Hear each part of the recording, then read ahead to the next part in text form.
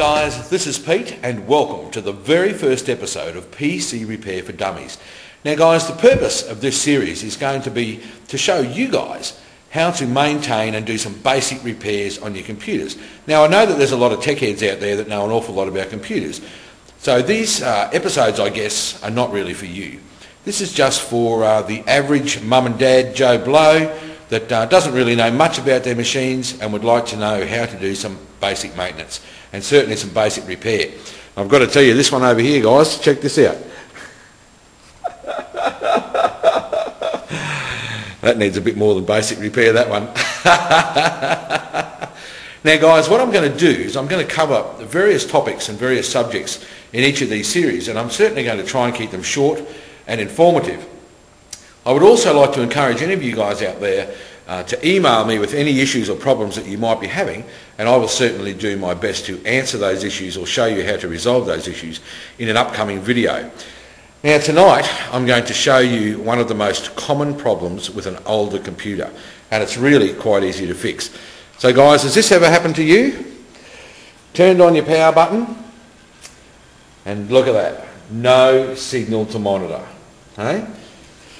Oh dear.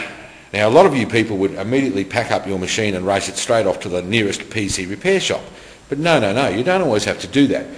Now the most common cause for this issue, believe it or not, people say, oh, motherboard, video card, whatever. And yes, those problems can cause this issue. But the most common cause is RAM, memory. And quite often it's just a matter of reseating the memory and it'll fix your issue. So we're going to have a go on this old busted ass machine here tonight, gang, and we're going to see. But firstly, I'd just like to explain to you a little bit about, uh, about RAM. There are three or four different types of RAM, and uh, let's go through them right now. So firstly, guys, what is RAM and what does it do? Okay, that's a good question, and I'm so pleased you asked. All right, so RAM is basically, uh, okay, it's, it's temporary memory or virtual memory in your machine. Now, there's two different types of memory in a computer. There's your stored memory, which is in your disk drive or your hard drive, and then you have your temporary memory, which is your RAM. Now, typically speaking, the more RAM you have in your machine, the faster and the better that it's going to run, up to a point. Now, I'm going to show you, there's actually four different types of RAM, but this is what a stick of RAM looks like. For the purpose of this exercise tonight, we're only going to talk about the three older styles of RAM, I guess. There's some new RAM called DDR3 that's out now, which is uh, pretty damn whiz-bang lightning quick. But once again, for the purpose of this exercise, we're going to talk about old RAM. Okay, now this is the sticker RAM. Now this is called SD RAM. This is the very, very early RAM. And if your machine is over about 12 years old, then there's a good chance it's going to contain SD RAM. Now how can you tell that it's SD RAM? Well, firstly it's got the big chipsets on it, like this. But SD RAM all has two little slots right there. Okay? Now if your machine takes SD RAM, no other type of RAM is going to fit it. That's very old stuff and it's, uh, I've got to tell you, pretty hard to get. It's virtually impossible to buy new anymore. There are still quite a bit of second-hand stuff uh, getting around on eBay, but uh, it's a bit dodgy buying second-hand RAM. Now if you have an old machine that is failing and needs an upgrade, and it's running SD RAM, take a tip from me guys, throw the bastard out and get yourself a new one.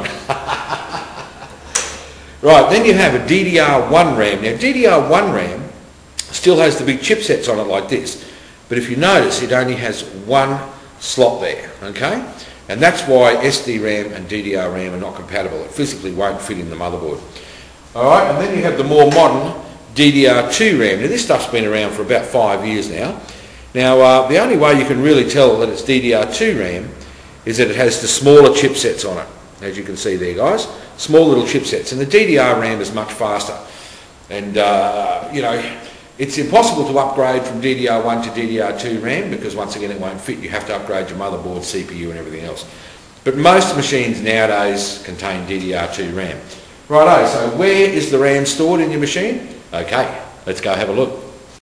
Tucked in behind all this mess in here, you'll see your RAM. Now RAM is pretty much always in about the same spot.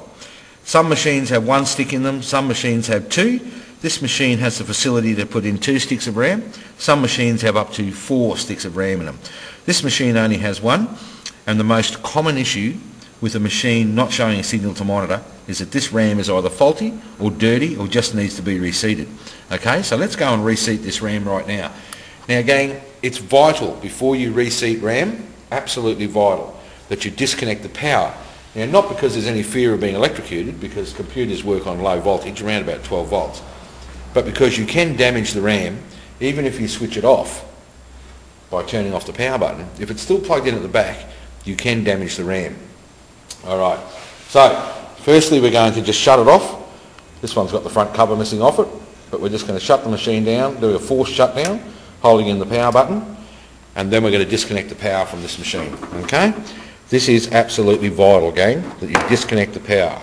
Alright, now we're going to lay the machine down and we're going to reseat the RAM. Let's do it. Come along, have a look. Okay, we're going to pop the machine down here. And as you can see, the RAM is sitting under there. Now the RAM contains two little clips that hold it in. Alright. And I'll just give you guys a look at these two little clips. Can see here, a little white clip there holding it in. They're generally white. You just pop that back like that. And you do the same for the RAM up the top there. There's always a clip at the top and a clip at the bottom. Okay, so we're going to unclip the top one as well. We're going to take the RAM out. There's the stick of RAM. Now the contacts here, you can just give them a little bit of a wipe with a little bit of dry tissue paper. In my case I'm going to use my sexy shirt. Okay, now the RAM can only go in one way. You might notice that the slot is offset, which means that there is only one way that it can go back in. Okay, so making sure that you have the RAM facing around the right way. Be very, very gentle with it clip it back in, push it down hard until both the clips click back into place so that you know that it's secured in there firmly. Alright, and there it is, sitting back where it should be. Okay, let's take this bad boy back now and fire it up and see if we've solved the issue. What do you reckon? okay, pop him back up here on the bench. And plug him all back in. Now it's vital, gang, when you're plugging these machines back in, that the very last thing you plug in is the power, okay?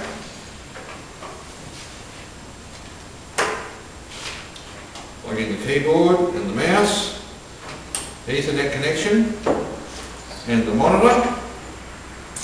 Very last thing is the power. Okay, make sure your monitor's turned on. Fire him up. Let's see what happens. Oh, keep your fingers crossed, gang. Oh, this is so exciting. Voila! There we go. Well, we had a picture to monitor. I might have talked a bit too soon. Oh dear, I've got to love these old machines. They take about five minutes to get started. There you go. Problem solved. A simple reset of the RAM. So there you go, gang. I hope you've learned something today. Huh? How to resolve an issue of no signal to monitor. now, if you try this fix and you put your computer back together again and it blows up and it burns your house down, don't sue me, alright? alright guys, thanks for watching. This is Pete. Love you.